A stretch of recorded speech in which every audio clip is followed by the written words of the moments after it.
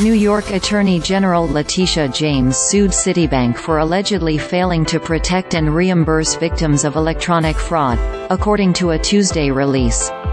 The suit claims that Citi does not have strong protections in place to prevent unauthorized account takeovers, misleads victims of fraud and illegally denies reimbursements.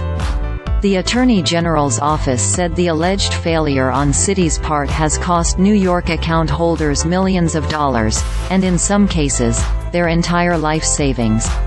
Banks are supposed to be the safest place to keep money, yet Citi's negligence has allowed scammers to steal millions of dollars from hardworking people, James said in a statement. Many New Yorkers rely on online banking to pay bills or save for big milestones, and if a bank cannot secure its customers' accounts, they are failing in their most basic duty.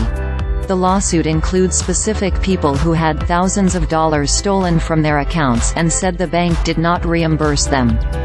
In a statement, Citi said the bank works extremely hard to prevent threats and assist customers who become victims of fraud.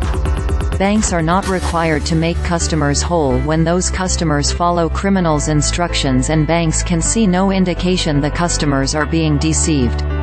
However, given the industry-wide surge in wire fraud during the last several years, we've taken proactive steps to safeguard our clients' accounts with leading security protocols, intuitive fraud prevention tools, clear insights about the latest scams, and driving client awareness and education, the company said in a statement.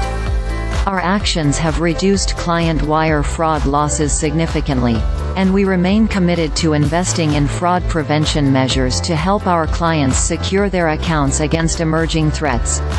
James alleged in the lawsuit that Citi must reimburse victims of fraud under the Electronic Fund Transfer Act.